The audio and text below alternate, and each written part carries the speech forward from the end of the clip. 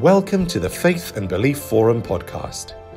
We work towards a society with strong interfaith relations where difference is celebrated. Join us as we delve into questions of faith, belief, identity, and more with fascinating guests from diverse communities and organisations across society.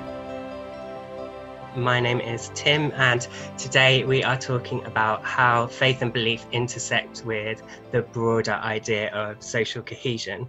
Um, so, the Faith and Belief Forum, together with the British Academy, have a new report coming out, which is called Cohesive Societies Faith and Belief. And everyone on the call today has been a massive part in making that happen. So, we've got Dr. Madeleine Pennington, we've got Professor Tariq Modood, and we've got Dr. Maryyum Mehmood uh, with me today. I guess that's probably the last time I'll use their full titles, um, uh, but really, really pleased to have you all with us. I'm going to let you all introduce yourself um, individually, but it would be great if you could include a little bit about maybe your own faith, belief, and identity, and also how you're involved in this project. So I can kick off. My name's Tim Mortimer. I'm a programs manager here at the Faith and Belief Forum, which is the largest interfaith charity in the UK.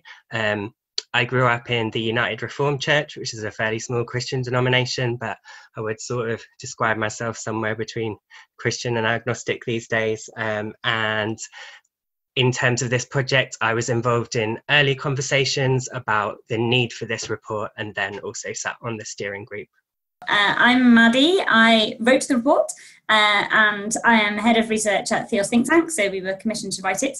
Um, my own faith background is that I am a Quaker.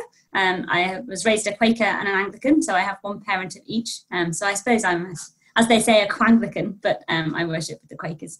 And um, yeah, that's me. Tariq? I'm a member of the British Academy and um, I'm on the steering group of, of this project, which comes out of the British Academy Cohesive Societies program.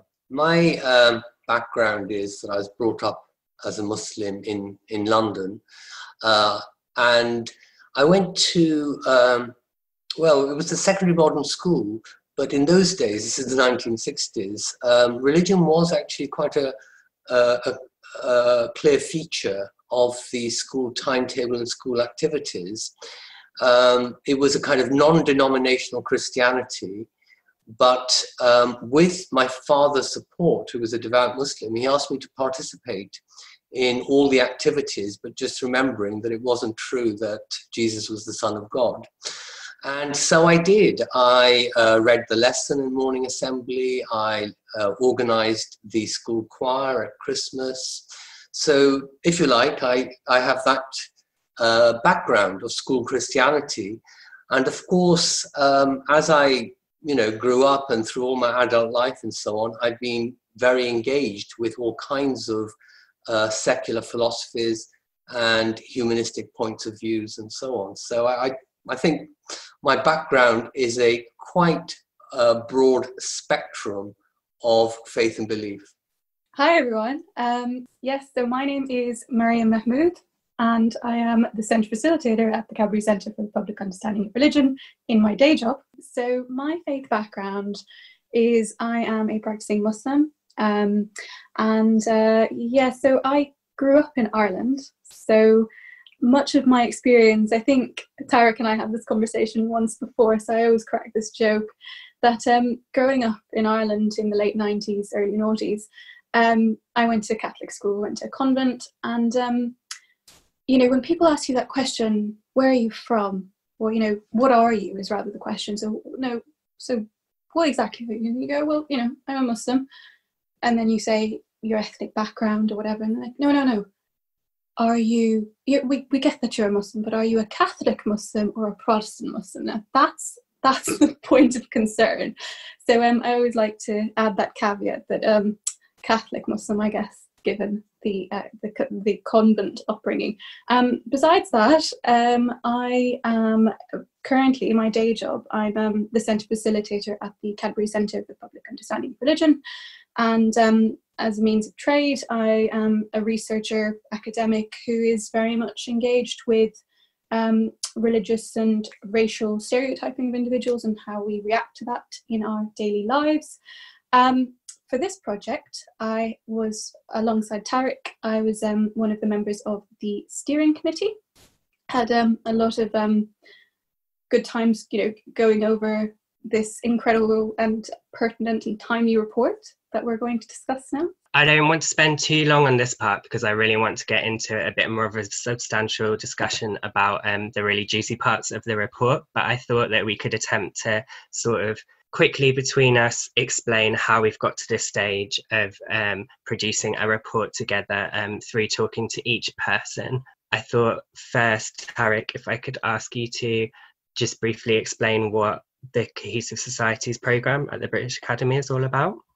Yes, the Cohesive Societies program at the British Academy is a few years old, and it's, it's about looking at um, how cohesive societies um, work, how they maintain themselves, um, how they change over time and adapt to difficult circumstances.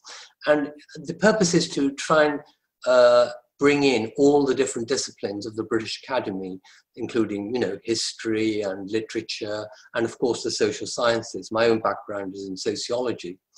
Um, we had a, uh, a, a, couple of very general reports published last year, very good reports, literature reviews, and pointing out, as it were, the state of the art in policy terms as well as uh, theoretical terms. One thing we uh, noticed was how little religion featured, religion and faith featured in those reports in any kind of positive way. It did feature, but it featured as a problem to be solved by policymakers and uh, state agencies and so on. And so we thought, well, no, that's not good enough. We need to take this a bit further. And so Together with yourselves at Faith and Belief Forum, we wanted to commission a report, which is now published, and I think uh, uh, Madeleine's done a very good job. Congratulations, Madeleine, um, which showed what uh, faith and belief has to offer to uh, society's cohesion in different ways at different uh, levels, and not just be identified as a problem or policy concern then I'll hand over to Maddie to speak a little bit about what's in the report. Sure. So um, the report is in two halves, and the first half um, really deals with the sort of policy landscape that Tariq has um, outlined. So basically, faith as a problem, sort of essentially looking at the period from the start of the 21st century onwards with, with a little bit more framing than that, and seeing how often um, policy interventions are in response to crises, um, which was um, in the first instance race riots and then um, terrorist attacks. Um, obviously, those are problems which need solving, but but they are um, not seeing cohesion as an end in itself, and they have also closed down various aspects of um, the faith contribution to our cohesive societies in various other ways. So the first half outlines that, and then the second half looks at trying to establish a more nuanced or spread um, narrative of the um, the impact of faith on social cohesion along the five core themes of the cohesive societies um, series, which are meanings. See if I can remember them. meanings of me- meanings and mechanisms of social cohesion, um, cultural memory and tradition, identity and belonging, um, social economy, and care for the future. So in each of those, it, it looks at essentially um, the fuller range of what faith offers and has some practical examples as well. Finally, um, Maryyum, maybe you could say a little bit about the steering group for this project. So, um, as we mentioned earlier, I uh, was part of the steering committee, steering group um, of this project alongside some very eminent scholars. Obviously, Professor Tariq Modood was part of the, the committee, um, of, of the steering committee. Um, alongside us uh, was Professor Douglas Davies, who is Professor of Theology and a Fellow of the British Academy. So he's a Professor of Theology at the University of Durham. And uh, Dr. Jasjit Singh, who is at the University of Leeds and is specialist on race and religion.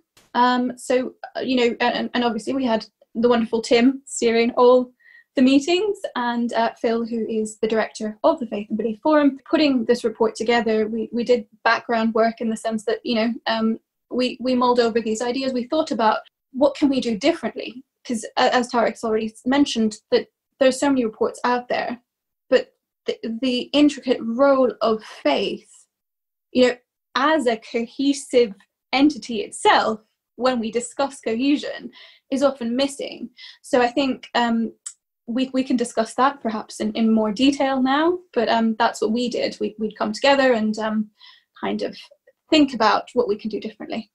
I think Maryyum's suggestion is a good one. So I think we'll move on to asking ourselves first a broad question. So I'm interested to hear why you got involved in this project and um, why particularly you think that is examining the intersection of faith and social cohesion is an important thing to do so um, I got into, involved in this because Theos has been working in um, the impact of churches on social cohesion specifically for the last um, year and a half for something called the Free Churches Commission. So um, we were looking across the country at practical examples there, and I think um, what really struck me in all of that was um, sort of f- firstly how much positive work is actually going on and how that just isn't reflected in policy. And i think that is obviously something that in the very structure of this report comes out very clearly um, but also how fundamental social cohesion actually is and, and how people just completely fail to understand what it is and why it matters it, just sounds like council speak and most people so we asked all of our participants in that project um, what do you think it means and so many people were like actually I had to Google it before I said yes to this interview, or oh, I wasn't quite sure, or you know, slightly eye rolling, kind of oh, it's just the local authority, isn't it? But but actually, it's it's relationships. It, it's what we hold most precious, and, and we don't really have the kind of poetic language. I don't think, or, or if we do, it's too poetic almost to describe what is really the heart of the issue here. And, and I think faith contributes something there which um, you know, for many of us who have a faith um, identity, or I guess we all have faith identities of some kind, but but but that that completely captures what it is to care about social cohesion as well. And I think that those two things often align in ways which is just it's sadly missing from the conversation when it's just you know instead talking about crises and um, as Tariq said, a problem to be solved. I, I entered uh, racial equality pos- policy work, and, and before that, uh, community relations and anti racist activism and so on in the 1980s.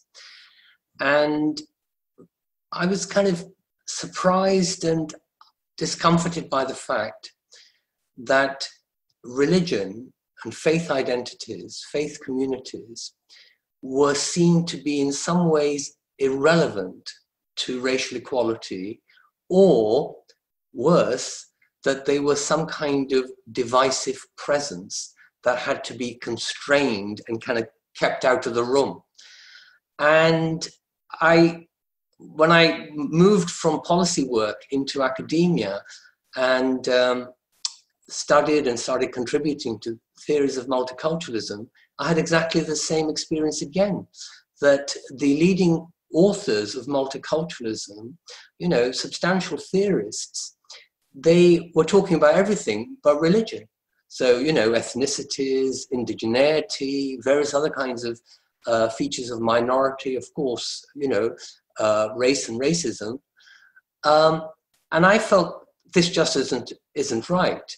So, having, you know, as I said earlier, being brought up as a Muslim and knowing how important Muslim identity is to Muslims in Britain and, for that matter, just about anywhere else, much more than um, race and color, and often much more than issues around, you know, nationality and ethnicity.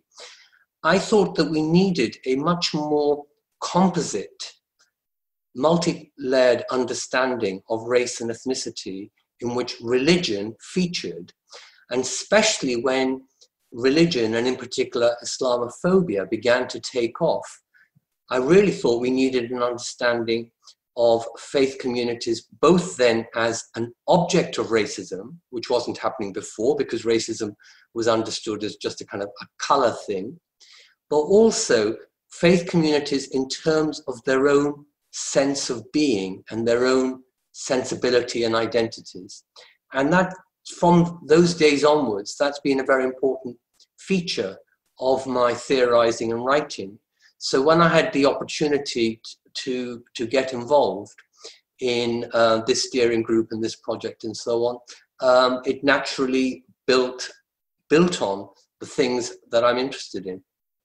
Well, I was uh, I got involved with this project um, after you'd kindly asked me, Tim, to, to join the, the uh, steering group. Well, um, that's probably because um, I have a long-standing relationship with the Faith and Belief Forum. You know, uh, we go way back, a whole decade back, in fact. So when I was during my undergrad, um, I was part of the undergraduate parliamentarians, 2010-2011 um, cohort, ever since I've been involved with the Faith and Belief Forum in some capacity or the other, you know, whether it's advisory or, you know, men- mentoring um, newbies.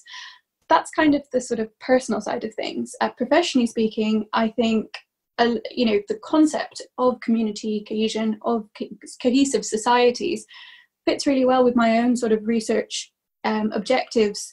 Uh, you know, Tariq mentioned Islamophobia. So a lot of my research looks at Islamophobia and anti-Semitism, um, but also other forms of racial and religious um, hatred.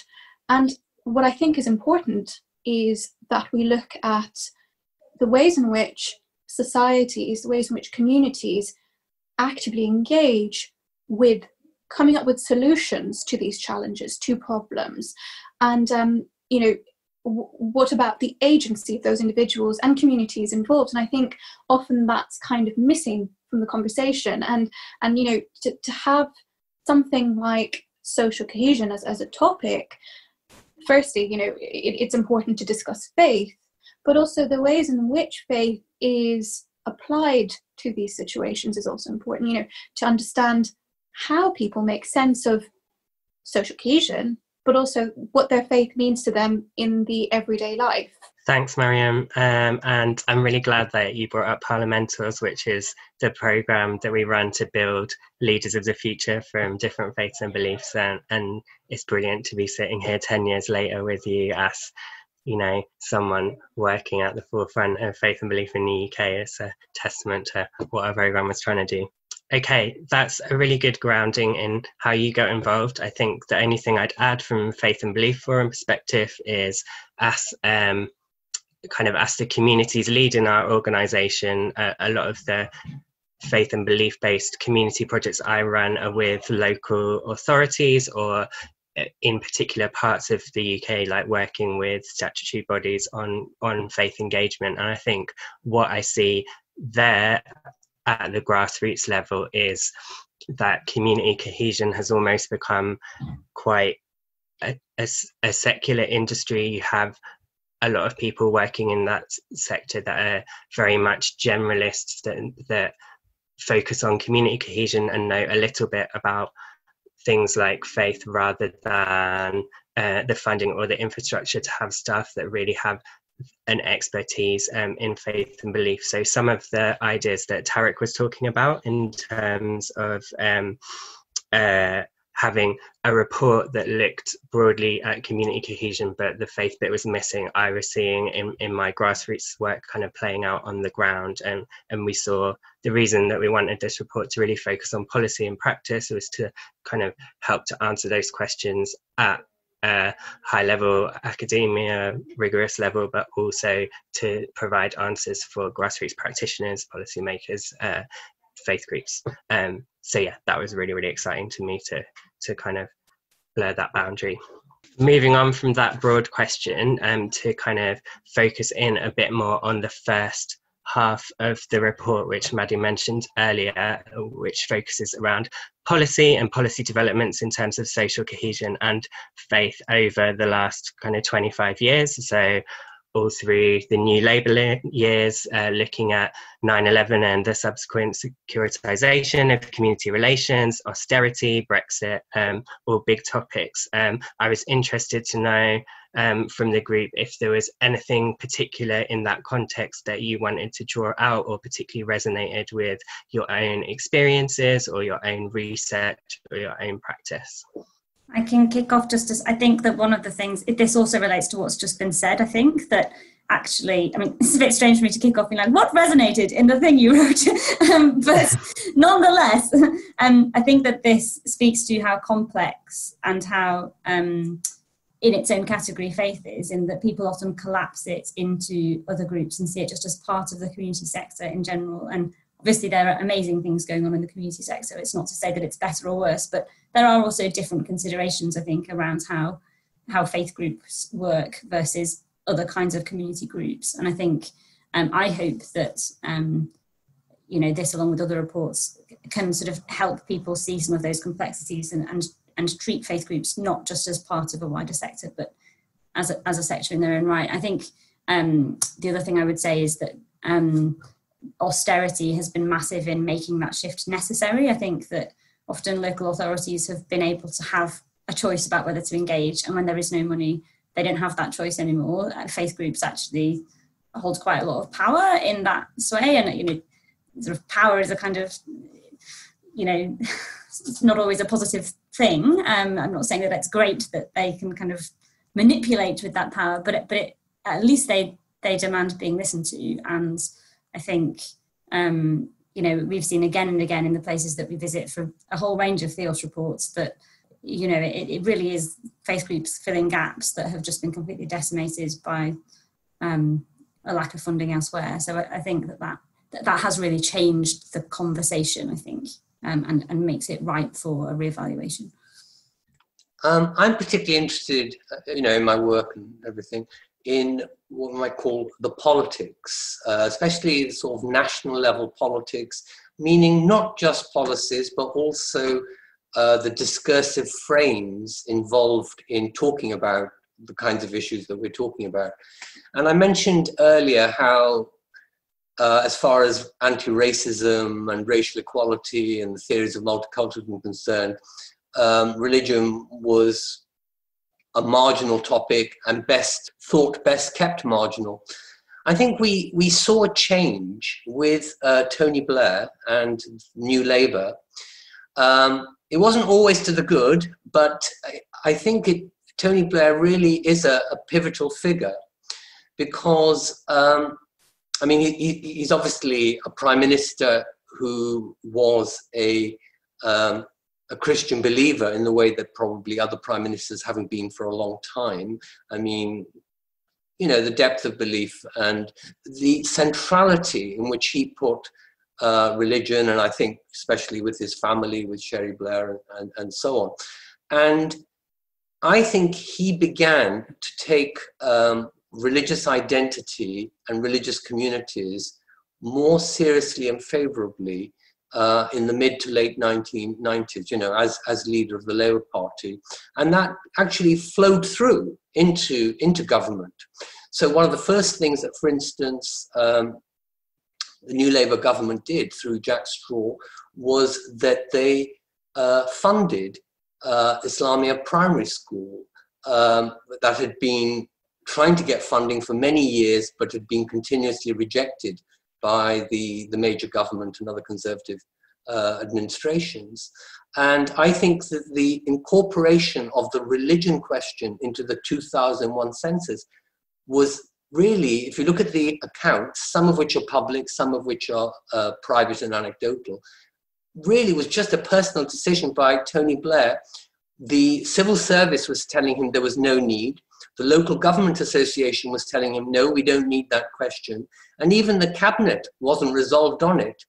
But uh, through interfaith lobbying, Tony Blair finally said, yes, okay. And getting a question like that into the census it really makes a very big difference to what research can be carried out, to uh, the statistics on disadvantage, on uh, discrimination, on growth in population, and therefore questions about representation and so on. So it was really quite a pivotal, pivotal moment. And even though uh, a couple of years later, um, Alastair Campbell, the uh, press spokesman for Tony Blair famously said, We don't do God to some journalists who had asked him about something.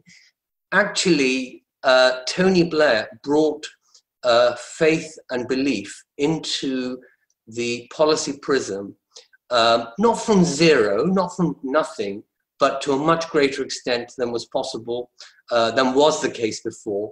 And it's more or less kind of stayed there since, since he brought it in. Now, obviously, as the report shows, the negative framing of faith communities around cohesion, especially after 9 11, and especially even more after the London bombings in 2005, um, not to mention, you know, uh, kind of riots and street confrontations in places like Bradford and so on. All that, I think, in many ways, uh, swept over the kind of agenda that Tony Blair was trying to develop, and we ended up in a different place to where some of us thought we were going in the early noughties. Um, and so the whole uh, policy agenda was a, a much more mixed and perhaps, you know, as we've all been saying, too negatively focused on faith communities as a problem rather than as a body of citizens whose concern and um, philanthropy and convictions can make a positive difference to society. Just to add to what's already been said, when it comes to discussing religion in the public life, as is mentioned already, that it's always got some sort of negative connotations to the dialogue, to the discussion, to the discourse, as it were. You know, the narrative is very much framed around that. So, you know, sometimes whether it's from our sort of um, interfaith background or approach, or whether it's the academic discourse that we're involved and engaged with, we often forget that policy isn't as forthcoming or welcoming to addressing issues surrounding faith with with a bit more of a diversity of opinions or you know with a positivity of sorts. And that's something we as academics as practitioners need to kind of inculcate through the social impact work that we do. It's to ensure that you know whether it's this report or whether it's any sort of work that we do um, you know at the forefront of this sort of engagement it's that the message surrounding faith and what faith means to ordinary British people you know is conveyed to policymakers and those who are in power. In a way that you know it's not about saying you know we, we might say that you know faith's all it's wonderful and it's great and you know it's it's not necessarily that we're saying this. It's not necessarily we're putting faith on a pedestal but it's the fact that you know this is so important to so many people across the country and it's not about not treating faith as a monolith in and of itself as well but actually seeing you know there's so many diversities and so many nuances that are often forgotten should faith be put at the periphery of these conversations. So i think that's something you know that we try to do um, as social scientists as practitioners as people with multiple hats as you probably will agree. The time period that we're living in right now you know we're all having this conversation over zoom. So even more so more than ever faith is important in, in, in the era that we're living in you know post covid reality. Inshallah post covid you know we're living in the midst of it right now i'm being very optimistic.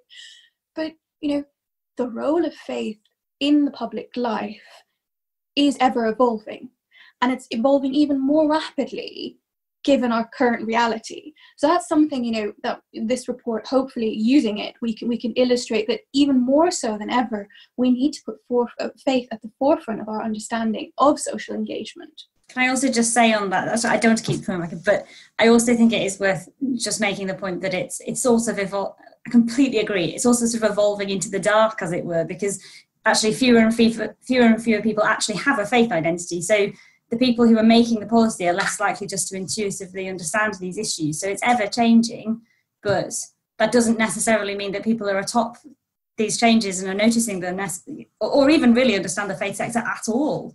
Um, I was speaking to some friends about um, Jesus turning water into wine, and they, they said, What's that?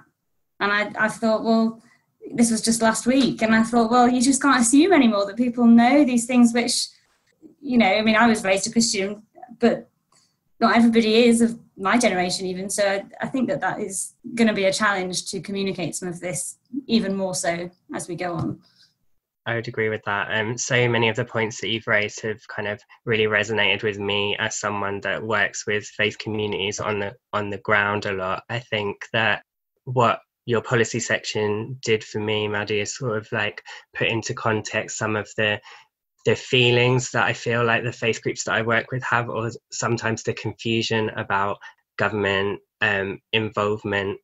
Often it might be that they've been involved in a faith forum that previously had a lot of support um, in previous governments through more of an infrastructure more of a focus on faith and belief at like a local authority level and that that funding and that support might have been cut and then maybe if they were deemed to be a problem area or a risk area like 10 years down the line then it might have been reinstated but but none of that happens in, in an overt way and it leaves communities thinking, oh, they used to be interested in us and then they weren't and now they are again and I don't know why and I'm a little bit suspicious and I'm not sure whether to get involved. Um, so so it definitely made put kind of a lot of that into context for me. The second part of the report um, is very much focused on practice and it includes 12 really incredible examples of cohesion building projects that were inspired by faith or involved faith groups in different ways. I was interested to hear are there is there a particular case study or a particular example that stood out for each of you? Um, it could be from your own experience or one of the ones in the report. I think there was one that particularly spoke to me, uh, and that's uh, case study four, the Minhaj al Quran, the mosque in Newham, and the way that it is engaged with this amnesia that exists in this country about the role that what we now call the Commonwealth, what of course was the British Empire, beyond these islands, played in the, uh, the economic, the political, and the military story of this country and of its, as it were, great power status. So Minaj, Minhaj al-Quran in 2017 held an exhibition on the role played by uh, Indian soldiers in the First World War. And it was a very large and substantial contribution, that uh, contribution in the First World War. Uh, uh, one and a half million um, troops in the Indian Army were mobilized, and many of them fought in the Western Front. It wasn't like they were fighting somewhere far away. They were dying in the trenches of Flanders, and 80,000, roughly about 80,000 um, soldiers gave their lives, um, you know, defending uh, the British Empire, defending Britain uh, just across, across the channel. And I think that's such an important part of our history. And we've been so, we meaning, you know, Britain as a society, been so reluctant, so slow to go back and pick up that story. We still have some, you know, glory images of empire and so on.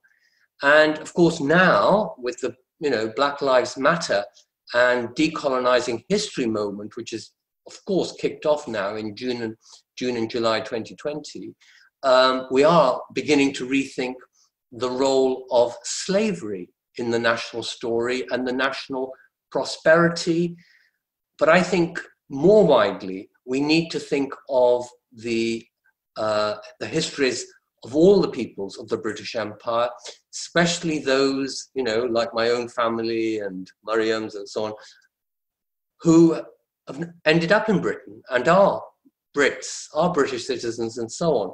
And I think that's why I particularly like, like that story. And maybe I could just very briefly throw in two cases of my own, which is slightly different. They're not, they're not 100% um, faith and belief based examples, but they just show you the, the kind of the width that's possible in this area. So one of them is actually about just an ordinary mainstream, if you like, secular local newspaper, the Leicester Mercury. I think over decades, this newspaper has played a very important community relations role in bringing ethnic minority and which also means really minority religious communities into the civic life of Leicester by reporting their stories, by having um, special uh, parts of the newspaper that are directly addressed to those communities, but always trying to integrate what's happening in the minority communities into the story of Leicester. I think it, it's, you know, its track record over decades is very good. And my other brief example is actually local here because I must wave some kind of flag for Bristol. Um, so this uh, uh, example is a, a, policy initiative called Building the Bridge. And it's actually part of the uh, infamous and, if you like, not happily accepted uh, National Prevent Program. But the thing about the National Prevent Program, and the report recognizes this, is that it was uh, very differentially implemented across the country because it had to be implemented locally. The funding was national, but most of the work had to be done locally. And Bristol City Council, in its wisdom, went to the uh, Muslim community, and of course it will surprise no one that they went to the Muslim community as opposed to any other religious community, given that we're talking about prevent. They went to the Muslim community and said, look, we want to work with you on this, and we want to make this work what's best for Bristol. So let's form a committee together, not just relying on what the government or the Home Office says or whatever, but working on identifying local problems together and coming up with some solutions to them. And not only do we want uh, local mosque leaders and uh, local Muslims to be part of this committee, but we would like you to chair it. You know, obviously we'll we'll uh, provide the secretariat and the resources and and so on, but we'd like you you to choose a chair. And then the local uh, Bristol uh, mosques uh, consortium, they held elections, and they, you know, the person who was uh, elected then became the chair of this committee. This was some years ago because obviously the prevent funding died away and it was reorganized under a change in government and so on. But I wanted to mention that as an example of a city council reaching out to a faith community which already felt quite stigmatized and under pressure and saying, let's work together.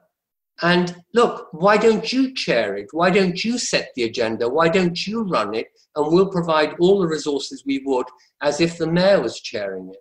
So th- those are three examples, um, you know, of very good cases, one in the report and two of my own.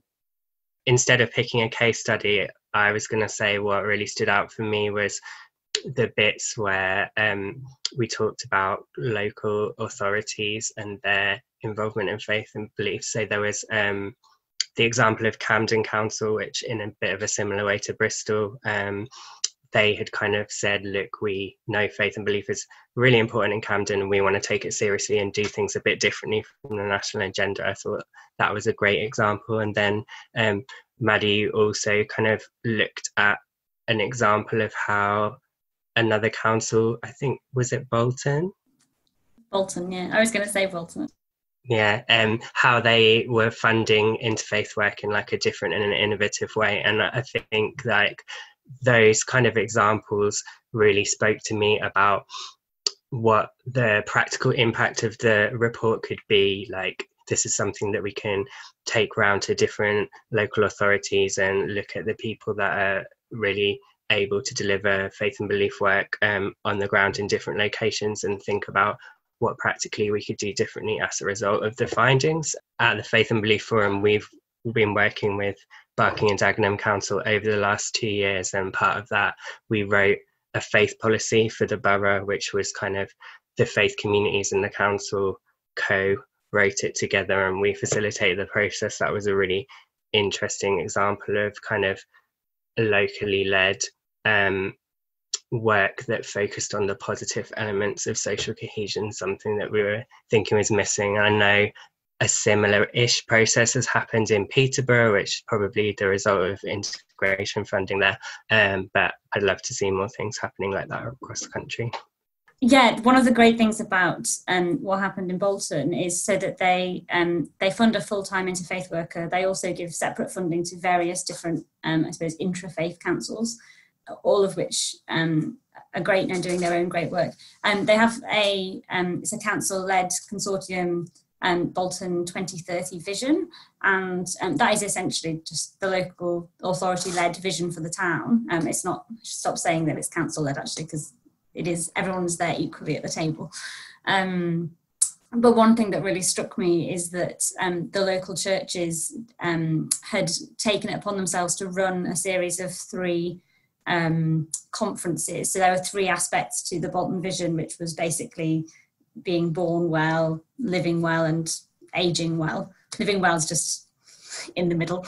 Um, and um, they'd done these three conferences to think about how best the churches could support this and they'd commissioned plaques that said we support the bolton 2030 vision and put them up all around the town and had them sort of giving them to community partners. And I, just thought it was a really good example of what happens when you actually include faith groups at the table because they've completely taken on this vision as their own and put their own resources into making it happen.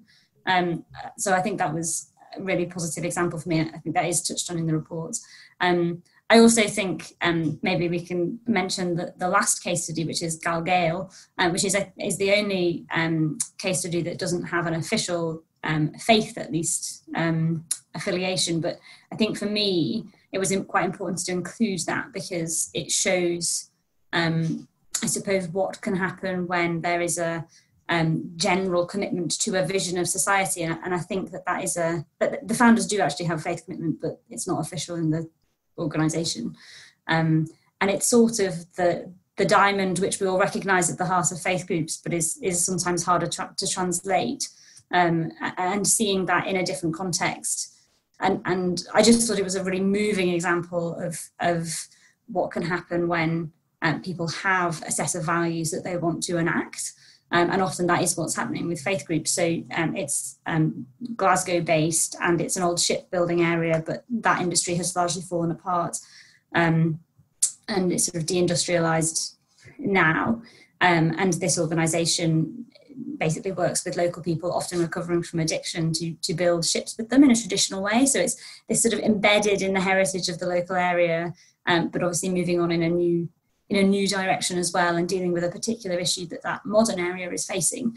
I, I just think that encapsulates so much about what what faith groups can offer, faith and belief groups can offer um, a social cohesion policy agenda.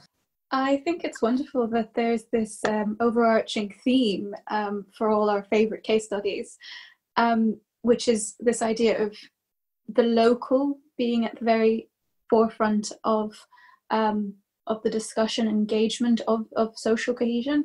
Uh, for me, I think obviously, I, much like Maddie, I, I really liked all of the case studies that you selected are so diverse and you know they all pick on different aspects of what cohesion really means but um based on this theme of you know belonging and, and on, on, on a local level i felt case study number five which was media cultured really stood out to me personally because oftentimes what happens is we focus too much on major cities. Firstly, the, the London bubble, and then we focus on you know maybe we'd reach out to Birmingham or Manchester or you know communities where there is a diverse population, but it's it's a large population. But um, media culture stood out to me because um, it's a Middlesbrough-based social enterprise, is, is, what they what they call themselves, and I'm pretty much reading out because I, I don't want to get it wrong. So they produce a range of resources that challenge all sorts of stigmas and um, hatreds like racism, extremism, you know, uh, and they promote and foster this idea of unity and inclusion by engaging with the youth on a level that they, they understand. So it's about producing, you know, um, exhibitions and films and workshops. You're really engaging with the youth. You know, it, it's this sort of the, the, technology is ever you know rapidly changing. So last week it may have well not last week rather a year or two ago it may have been instagram and snapchat but now all the kids are using tiktok. So or you know stuff like that. So it's about speaking to you know the as cliched as it might sound the next generation is our future. But it's about you know engaging with them on a level that they understand and value and, and they actually have fun with. So i thought you know this stands out really well because um you know and, and then you know you spoke to people who are part of this maddie and, and you know they they seem to be very much not just local and far removed from from those major city bubbles but also the fact that they can you know have this engagement with a Muslim experience or Muslim experiences and then document them and narrativize them in a way that's accessible to you know the youth and, and particularly which is particularly the audience that they're catering to. Um, and i thought that you know that's such a wonderful way of promoting faith-based values and, and belief as well. It's not necessarily, as Maddie rightly said, it's not just about faith. But you know, when we talk about cohesion, um, we really need to understand that the element of identity and belonging shouldn't be left out of it. And and um, I thought, you know, of, of all the examples, because I think the Faith and Belief Forum itself was one of the case studies, wasn't it? So you know, I, sh- I should have taken that opportunity to say, actually, you know, that that's, the that's best. my favorite case. But um, no, I, I, think I, sh- I should rephrase rephrase that for, for the sake of our our um, audience and our listeners, because obviously, after the Faith and Belief Forum, my next favorite is Media Cultured. So, thanks. I should also say on Media Cultured that the, the person who I uh, interviewed as part of that um, actually emailed me last week and said they've just been awarded the best is the best racism and extremism training provider 2020, which is really nice to hear faith groups having that kind of recognition. I think it just, yeah, it's a real endorsement of what they're doing. So sounds like yeah we've got a lot of fans um, for, for lots of the case studies but i guess what i take from what everyone said is that people love the projects that are particularly local and and have a real local character to the faith and belief project delivering social cohesion um, but also projects that are faith led where people get to sit at the table and set their own agenda and ideally also with funding. We're going to move on to our last question, which um, looks to the future. Um, we've talked a little bit about a post COVID world already, um, but what do you think we have to learn from the themes of this report in 2020? Well, firstly, I should say um, this flows from your last set of comments, uh, Tim so you said that one thing that we all agree on is the importance of the local and so on. Well, actually, I'm not a localist. Um, I think obviously the local is important, but so is the national. And the situation that we are in at the moment is a very good uh, illustration of the importance of the national and the local. Now, I'll, I'll leave aside any question about the competence of our national leadership in this crisis. But it's quite clear that we could never get through this crisis without some kind of national leadership, national resources, enormous amounts of national resources, you know, billions and billions of pounds, um, national decision making. And yet, what we've seen flourishing across the country in this crisis is so much um, local solidarity and mutual aid. Some of it, of course, organized by faith communities.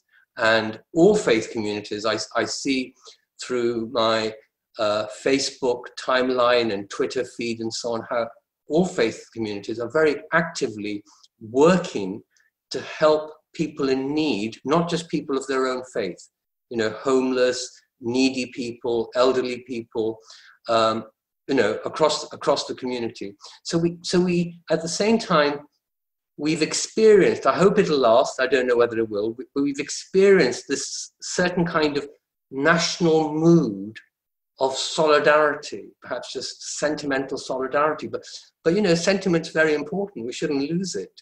You know, and um, people like uh, Vera Lynn being kind of iconic in uh, crystallizing this for at least one generation or more than one generation of the country. But this kind of combination of national solidarity and local mutual aid, um, I think that's it's such a good combination, um, and I think that it is one of the things we can learn from uh, from uh, this report, but more widely about how to address issues of cohesion and the uh, contribution that faith communities can make to it. And related to that, I would say that one thing that um, the, the report mentions, but perhaps doesn't highlight, and in fact, nobody in the country really highlights this, we take it for granted, and that is the horizontal relations, the phrase the report uses, horizontal relations between different faith communities, is so good. I mean, imagine if we weren't talking about faith communities, but we were talking about political communities or political groups. I mean, we know how divided the country can be and was till COVID emerged about Brexit, for instance, and we might now be divided about how we handled COVID in the in the next months ahead and so on. And I think it's we we so readily take for granted the good cooperative interfaith relations, the respectful relations that exist in this country, um, especially I think in ter- at leadership level, but also uh, at a more grassroots level as well. And we only have to look at what's happening in some other countries. A country I'm particularly uh, concerned about India. I mean, to realize how fragile those good relations can be in some context, because, you know, in some ways, India has been a model of diversity. But now we're seeing pogroms and um, on a scale that, you know, two or three years ago, no one would have expected. So I think that um, that horizontal relations is really important and we should in some ways celebrate it and because of my predilection for connecting the local to the national we should raise it up to the national level it should become part of our national self-image that we are a, a multi-faith country which in which faith is respected no matter whether it's your faith community or someone else's and of course talking about faith and belief in general this isn't restricted to uh, organized uh, religion or you know theistic points of view uh, and so on. And given that we're now saying we need to rethink our history in relation to slavery and racism, and before I was saying let's broaden that out to rethinking our, history in relation to empire and how this country became a multi-ethnic country. I would like to see faith communities also be a strand in the remaking of our national story.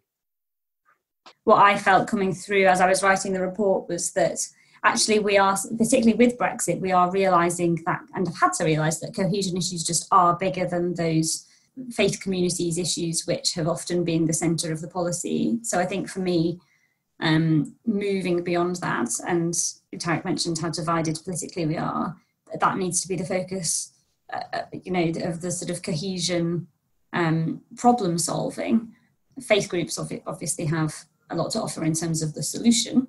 And on that point, I would say um, perhaps um, slightly dodging the question that the other thing that, that obviously is said again and again in the report is that we shouldn't have cohesion policies which are um, written in response to crises, that it needs to be a longer view than that. So I think um, slightly dodging, but no one really knows what's going to happen with COVID. And actually, we shouldn't really be making COVID the centre of our next that shouldn't be the next crisis that we then shape our next policy around right like we need to have a longer view in mind and so for me it is really about faith groups understanding what they have to offer to the solution and that that is a bit more evergreen than uh, what's this latest, latest problem that we have to solve you mentioned Brexit there, Maddie. Um, I know the report kind of talks about state of post Brexit as like a bit of an opportunity to like look at cohesion differently. Do you feel excited rather than nervous?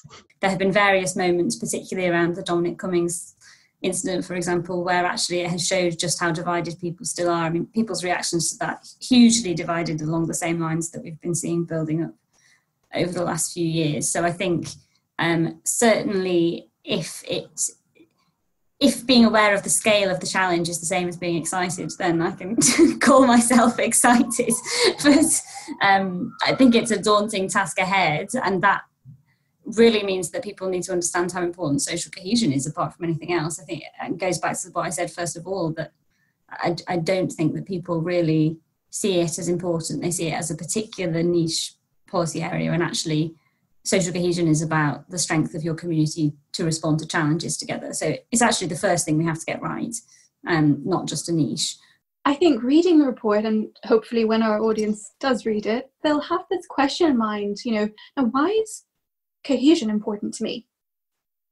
And I think something that is um, that can unite people of faith and belief backgrounds and those of none is this sort of commitment to social justice, which is something we've seen quite a lot. You know, when it comes to the solidarity we see, whether it's surrounding conversations um, that the Black Lives Matter um, campaign and movement has shown us, uh, whether it's conversations about, you know, as Tariq mentioned earlier, slavery and decolonization, there's this niggling feeling that, you know, having conversations with people of my generation and, you know, um, it's that we want to see a better future. We believe in a, in a, in a socially just world in, in, a, in a way that, you know, that allows all of us to excel and thrive together and this is this, this togetherness the unity then comes from that.